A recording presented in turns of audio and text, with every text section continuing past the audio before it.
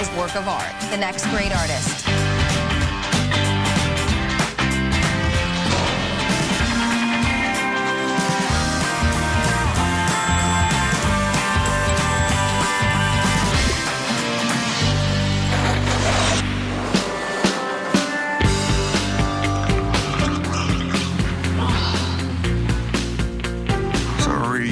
Attack it today or what? I can't figure out the judging and the process and conceptual art and people acting. So I'm gonna do art I have fun with. I really think I appreciate being here more than anybody because I have less to go home to. It would change everything for me if I could win. Now we just gotta maintain. The fact that we started out with 14 and now we're down to eight is kind of shocking. If I can make it to the final top three, I'll be really, really proud of myself. Let's get going. I just have to keep my eye on the prize.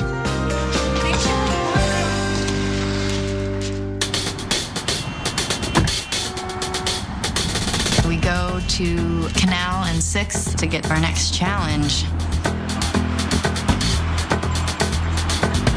It looks like a public art space. I don't know even what the challenge is, but I love public art. Good morning. Good morning. Welcome to the Lower Manhattan Cultural Council's Lens Space, a public art space open to the entire city to enjoy. I'd like to introduce you to your guest judge, Yvonne Force Villarreal, co-founder of Art Production Fund. Yvonne, could you tell them what you think makes a successful piece of public art? When we first started our production fund, our goal was to bring the important messages that are found in contemporary art to an expanded public audience. Most public art has been inspired by the site first, and then the site is used to heighten the communication to the public. For your challenge, you will be creating your own art installation project right here. And you will have two days to do it. Ah! You will be working in two teams. Oh. I will be the first one to admit I don't necessarily work well in groups. Compromising is never easy for artists. To determine your teams, please pick a paint tube. No. Jacqueline, you won the last challenge. Let's start with you. Blue. Eric, come on up. You're next. Blue. I picked blue. Jackie has blue. A little nervous about that because of the argument that we had, and we haven't really spoken to each other since then. Red.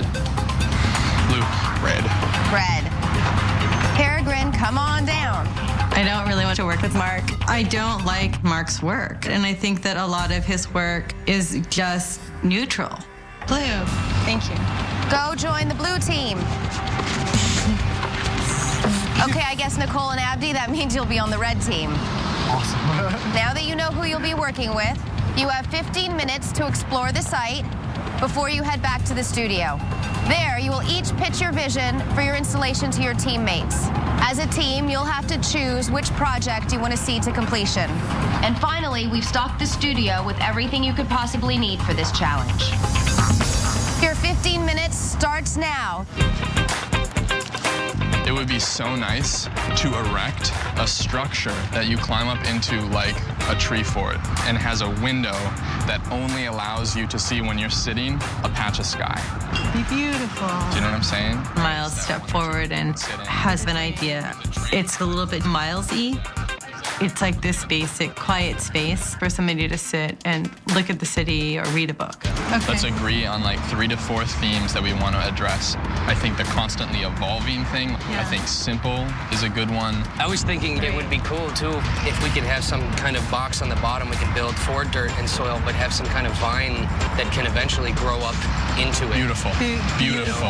Done. I have always wanted to do something like this. Just make something big and sculptural. Hop up? You good? Yeah, I'm good. Hop up. All right, tell me where you want me to turn. Eric, sometimes he lets his self-consciousness about being a newer artist get to him, but I think in a group situation, he's really gonna flourish. Most places here, it's where somebody's working. What's going to maybe bring someone into this area, but also have them experience all of this that's just not here. But This is so important to New Yorkers to Yeah. see this sky. Nicole's sort of taking charge of the group. You must feel the space. You must engage the space. I'm ready to talk about the design. Right now, let's just get ideas. Yeah. And then when we get back to the studio, we'll just assess our Okay. Strengths. And also for this challenge, I'm sorry, and you know, I hope that not, we just don't bring up anything in the past. Where did you get that idea? It's something that I'd already been So my thinking point is, is it doesn't matter who mean that thought just because you. Don't ask me for Oh my advice. God. I think it's cool that she extends that handshake first, and it, it shows a lot about her character, and so it was a nice surprise. This is going to be really great. I know, we've got a great team. I'm so excited. We get back to the studio, we kind of formulate a plan on the supplies from Utrecht that are already in the studio. I need to say some major concerns. Yeah, sure. I've got some too, so. The gravel that's there is actually really amazing. and so like these shapes, yeah, these shapes are actually really like I came up with the inspiration of our piece, and we plan to make a very beautiful and complex geometric form. You can sit on it and you can lean on it. It's something that engages you to gaze up, but also bringing nature into our everyday psyche. I think it should be like just like a park of, of different Forms. forms. Yes. Yeah. Keep them movable. This thing cannot be movable. Yeah, you're it right. It should not, no. Okay. And it has to be sit onable and it has to be sustainable and not fall apart. Yeah. I love the idea of somebody having their lunch hour off and being inside of a space that feels very natural and is made out of natural materials. I started to hate this idea. I'm not trying to be like, I'm, I'm, the reason is I don't feel like it's aesthetically attractive enough. I think we have to eliminate any element on the exterior that makes it look like a clubhouse. Agreed. I feel like it looks very much like a tree house. It's not aesthetically interesting enough. So we went back to the drawing board. No vine plant things that make it look like a miniature house. And I agree with you. I was going to nix the plants at the bottom. I think it's too much. It's fine. So let's just get started. It's fine, yeah. so we're not is doing the vines. No, I think the vines are really silly. It's hard when nobody really thinks you know what you're talking about, and they'll shoot your idea down. It's really discouraging. Let's just agree first on the shape. We've eliminated the boxiness of it. so it's mhm. going to be very rhythmic from the back, very beautiful from both sides, and very invit- inviting. The final design has a beautiful curve that jutted out obliquely into the sky. Yeah, I want to make sure we all have our stamp on it too. I don't want a judging thing to happen and go, Eric, Right. what part did you take in the design of this? Right. And We don't want that None. either. It's four people working together for a common aesthetic.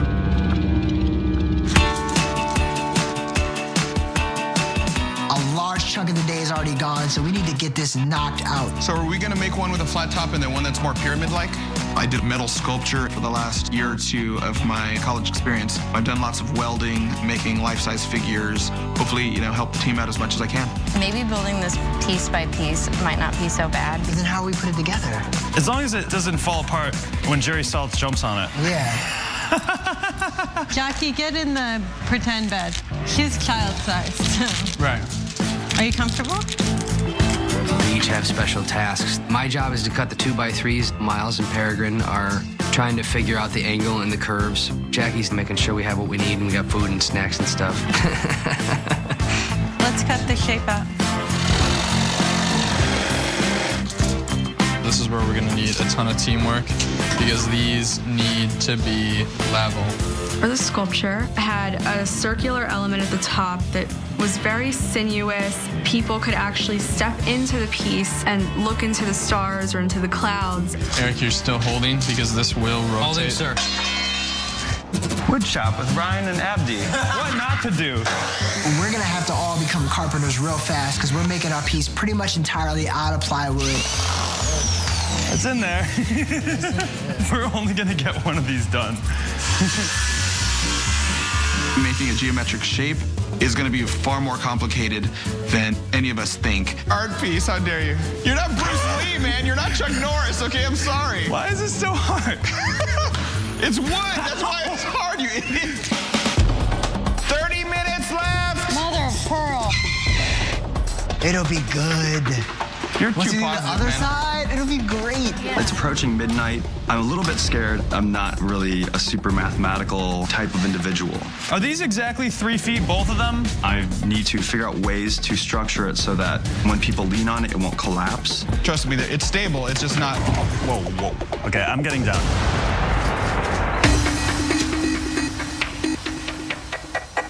We go back to the William Beaver house.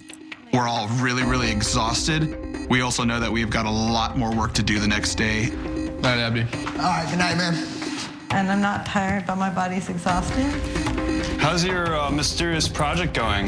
Is it very teamwork oriented, or is Miles like the leader? It started off not very teamwork uh, work oriented, and I kind of kept voicing my opinion and told him like, hey, it's really going to start to turn into an argument because I'm not going home for being the guy that didn't have anything to do with the piece.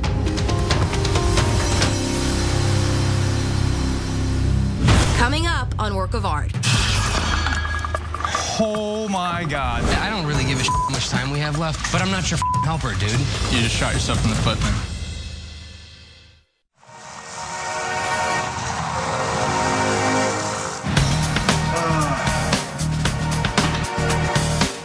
When I wake up in the morning, I feel like I kind of got assigned to the project manager role, which is really stressful because I need to make sure that everyone's doing their part. I'm excited that I have immunity, but I so badly want our sculpture to win and to see my collaborative creation in this space and know that I had a huge part in making it happen.